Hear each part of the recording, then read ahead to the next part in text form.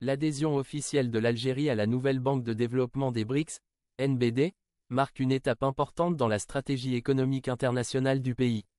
Cette intégration à la NBD intervient dans un contexte particulier.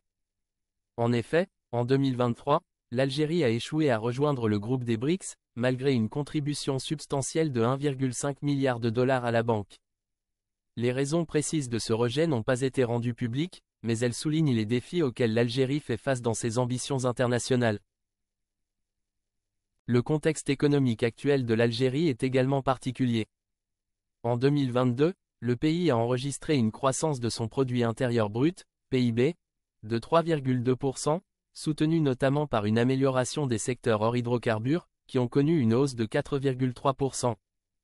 Les prévisions pour 2023 sont encore plus optimistes, avec un taux de croissance attendu de 4,2%, favorisé par un rebond dans la production d'hydrocarbures, et des performances solides dans les secteurs de l'industrie, de la construction et des services. Néanmoins, ces signes positifs ne doivent pas occulter les défis structurels auxquels le pays est confronté. En effet, la forte dépendance aux hydrocarbures reste un point de vulnérabilité majeur pour l'économie algérienne. De plus, des pressions inflationnistes persistantes, atteignant 9,3% en 2023, principalement en raison de l'augmentation des prix des denrées alimentaires, pèsent sur le pouvoir d'achat des familles. Dans ce contexte, l'adhésion à la NBD peut être vue comme une bonne chose. À savoir, une tentative de diversifier les partenariats financiers de l'Algérie, et d'accéder à de nouvelles sources de financement pour ses projets de développement.